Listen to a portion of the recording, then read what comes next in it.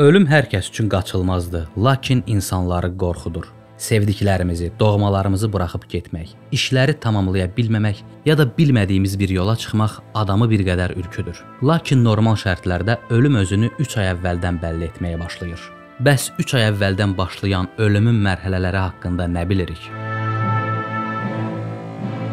Video başlamazdan əvvəl bir bax YouTube kanalımıza abunə olmanızı xahiş edirik. Sizin dəstəyiniz bizim üçün çox əhəmilidir.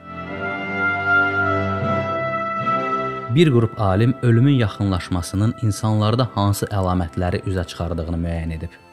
Biri ölümün yaxınlaşdığının fərqinə varmağa və onu qəbul etməyə başladığı zaman ətrafından uzaqlaşmağa başlayır. Bu insanın dünyadan və dünyadakılardan ayrılma müddətinin başladığını göstərir.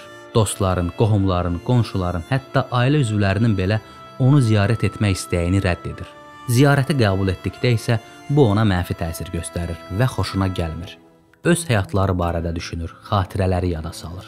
Yəqin dünyasını dəyişən yaxınlarınızın tez-tez keçmiş xatirələri yada saldıqlarını, hətta əvvəllər heç dilə gətirmədiyi şeyləri danışdıqlarını müşahidə etmisiniz. Onlar necə bir həyat yaşadıklarını təhlil edir və bəzi şeylərə görə peşman olurlar. Ölmək üzrə olan adamların iştahı azalır və arıqlayırlar. Bədənin hərəkəti yavaşlamağa başlayır və əvvəllər olduğu kimi yeməklərdən enerji almağa ehtiyac duymur.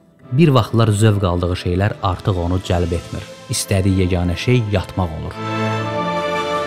Dəyişən orqanizm kimyəvi baxımdan da aşınmaya məruz qalır.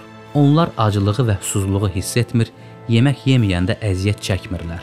Ölümə 2 həftə qalmış nə baş verir? Ölüm yolçuluğuna çıxmış adamlar günlərinin çoxunu yatmaqla keçirir. Belə insanlarda orientasiya pozğunluqları çox rast gəlinir və məsələlərə reaksiya dəyişir. Onların başlıca əlamətlərindən biri də hallüsinasiyalar görmələridir. Bəzən onların yanında olmayan adamlarla danışırlar. Bu adamlar isə əsasən ölmüş insanlar olur. Onlar üçün həyatla gələcək arasındakı pərdə qalxır. Bu adamların hərəkətləri məqsədsiz olur və başqaları üçün heç nə ifadə eləmir. Onlar nə etmək istədiklərini bilmirlər və hadisələrə qeyri-adekvat reaksiya göstərirlər. Çünki getdikcə bu dünyadan uzaqlaşırlar ölümə bir neçə gün və ya bir neçə saat qalarkən nələr baş verir?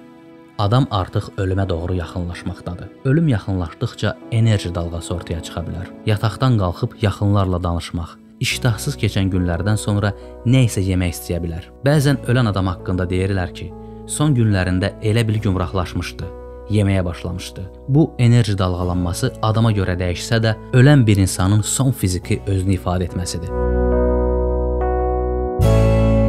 Videonun sonuna gəldik. Videonu bəyəndinizsə, bir bax YouTube kanalımıza abunə olun. Növbəti videolarda görüşənədək hələlik.